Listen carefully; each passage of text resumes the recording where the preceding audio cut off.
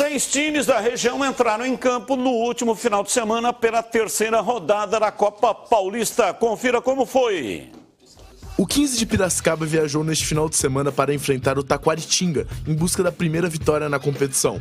E mesmo com o primeiro tempo bastante disputado, foi somente na segunda etapa que a bola balançou as redes. Após cobrança de falta, Vitor Hugo acertou um desvio de cabeça e pôs o time da casa em vantagem no Taquarão. Depois de sofrer um pênalti aos 44 minutos do segundo tempo, o Inhoquim ainda teve a chance de empatar, Porém, o goleiro Matheus Saldanha defendeu a penalidade e garantiu os três pontos para o Taquaritinga.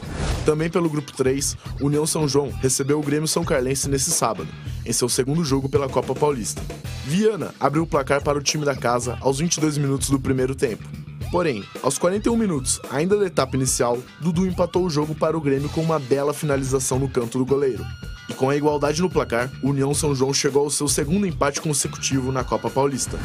No Décio Vita, em Americana, Rio Branco e Red Bull Bragantino 2 abriram a rodada do grupo 4. Vitinho acertou um chute na veia e fez um lindo gol, colocando Massa Bruta na frente. E após dois minutos, Vitinho também, só que do Rio Branco, empatou o jogo para a equipe da casa. A virada do Tigre veio no finalzinho do primeiro tempo, Após cobrança de falta na trave, a bola sobrou para Felipe Muranga, que com facilidade fez o gol da vitória para o time de Americana.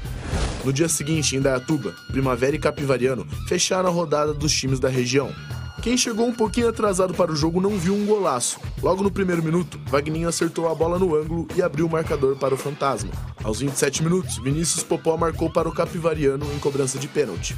Dez minutos mais tarde, Lucas Douglas fez o gol da vitória que trouxe os três primeiros pontos do Primavera nessa Copa Paulista.